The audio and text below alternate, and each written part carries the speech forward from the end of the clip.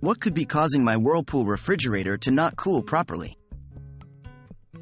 Hello and welcome to today's video where we will delve into why your Whirlpool refrigerator might not be cooling properly.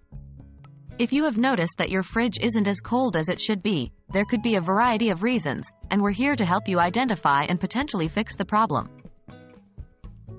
Is your refrigerator getting power? First and foremost, it's important to check if your refrigerator is getting sufficient power.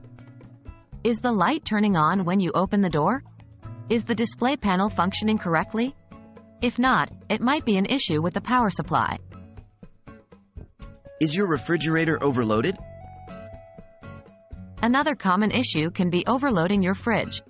If you've just done a big grocery shop and stuffed everything into your fridge, this could be preventing the cool air from circulating properly.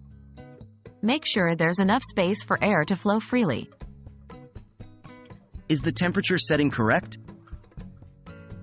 Check your temperature setting. It might sound simple, but it's a commonly overlooked issue. Your fridge should be set between 35 degrees Fahrenheit and 40 degrees Fahrenheit. If the setting is too high, your refrigerator won't be as cool as it should be. Are the condenser coils clean? The condenser coils on the back of your refrigerator play a crucial role in cooling. If they're covered in dust, they won't be able to dissipate heat effectively, causing your refrigerator to run warmer than usual. Regularly cleaning the coils can solve this issue. Is the evaporator fan motor working?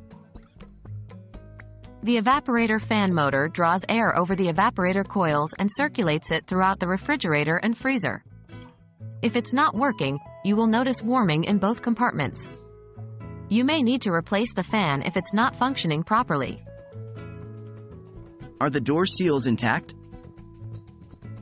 Finally, check the door seals. If they're damaged or not sealing properly, warm air can enter your refrigerator, impacting its cooling capability. If you notice any cracks or damages, it's time to replace the seals. By checking these areas, you should be able to identify what's causing your Whirlpool refrigerator to not cool properly. Always remember, if you're not comfortable performing these checks yourself, it's best to call in a professional. Hopefully, this video has helped you to understand and troubleshoot your cooling issues. Thanks for watching.